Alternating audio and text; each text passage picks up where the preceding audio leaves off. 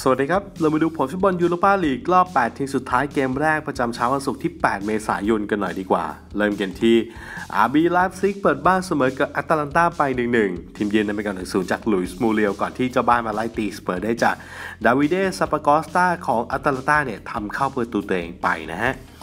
ไอน์ทรัคแฟรงเฟิร์ตก็เสมอกับบาร์เซโลนาไป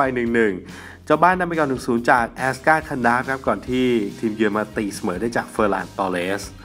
เวสต์แฮมยูไนเต็ดก็เสมอกับโอลิมปิกลียงไป 1-1 เกมนี้เจ้าบ้านนำไปก่อน 1-0 จากจาร์ร็อดโบเวนครับ ก่อนที่ทีมเยือนมาตีเสมอได้จากตองกีเอ็นดอมเบเล่ และก็เอสซีบราก้าเปิดบ้านเฉือนเอาชนะเรนเจอร์สไป 1-0 จากอาเบลรุยซ์เดี๋ยวเกมวันพฤหัสหน้าก็จะเป็นเกมใน leg ที่ 2 นะฮะ ระหว่างอตาลันตาเจอกับไลป์ซิก บาร์ซ่าพบแฟรงเฟิร์ตลียงเจอเวสต์แฮมแล้วก็เรนเจอร์สเจอกับเอสซีบราก้า